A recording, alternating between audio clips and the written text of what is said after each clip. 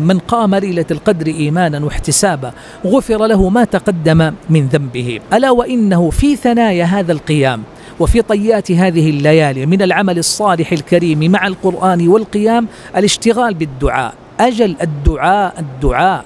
وكم كانت أمنا عائشة رضي الله عنها فطنة حريصة. لما جاءت فسألت يا رسول الله أرأيت إن علمت أي ليلة ليلة القدر ما أقول فيها؟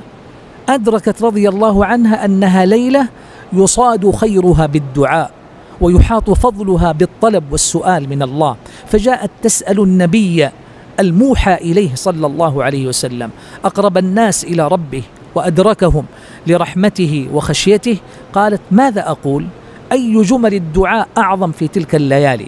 قال قولي اللهم إنك عفو تحب العفو فاعف عني اجعلها على لسانك واجعليها على لسانك أختاه.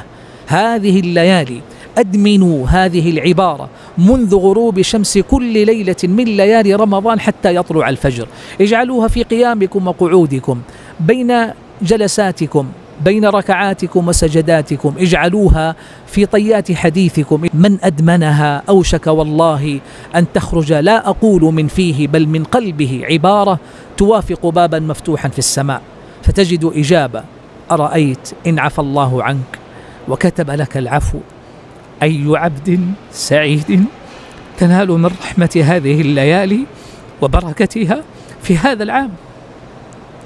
إن كتب الله لك عفوه عشت سعيدا ومت حميدا وبعثت يوم القيامة إن شاء الله تعالى مغفورا لك.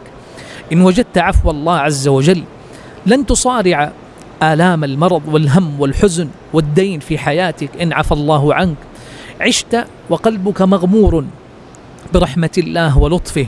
هذا العفو من ربنا العفو مبذول في هذه الليالي فاقطفوه بالدعاء واحصدوه. رعاكم الله بكثرة الطلب. اللهم إنك عفو تحب العفو فاعف عني.